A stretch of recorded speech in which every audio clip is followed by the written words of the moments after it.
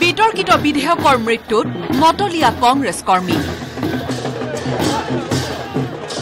বৰঝাৰত ঢোলে নগৰে ৰাজ্যিক নেতৃত্বক আদৰণি সমৰ্থকৰ। অসমত ভৰি থোৱা মাত্ৰকে দলীয় কৰ্মীৰ এনে উল্লাসত মুগ্ধ হৈ ৰকিবুল হুছেইনে বিজেপিক ওফৰাই দিয়াৰ হুংকাৰ দিলে আগন্তুক লোকসভা নিৰ্বাচনত। অসমত কংগ্ৰেছৰ চৰকাৰ হ'ব বিজেপিৰ কাউণ্টডাউন আৰম্ভ হৈছে আমাৰ কেইজনৰ কাউণ্টডাউন আৰম্ভ হৈছে উত্তাগণনা আৰম্ভ হৈছে এই দিনৰ হ'ব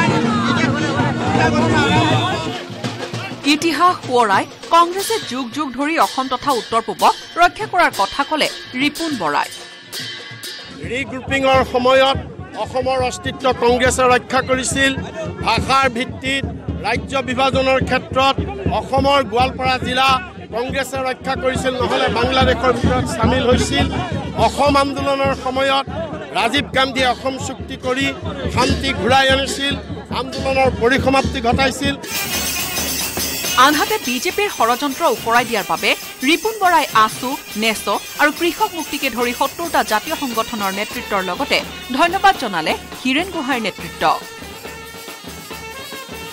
বিধেয়ক বিৰোধী আন্দোলন যিসকলে আগবঢ়াই লৈ গৈছিলে সদৌ অসম ছাত্ৰ সন্থা নেচো ডক্টৰ হীৰেণ গোহাঁই আৰু তেখেতৰ যিসকল সহযোগী সংগঠন আৰু ঠিক সেইদৰে অখিল গগৈ আৰু তেখেতৰ যি সত্তৰটা সহযোগী সংগঠনকে ধৰি অসমৰ সকলো জাতীয় সংগঠন চিভিল ছ'চাইটি অৰ্গেনাইজেশ্যন আমি কংগ্ৰেছ দলে সকলোকে আমি অভিনন্দন জনাইছোঁ আৰু আমি ধন্যবাদ জনাইছোঁ।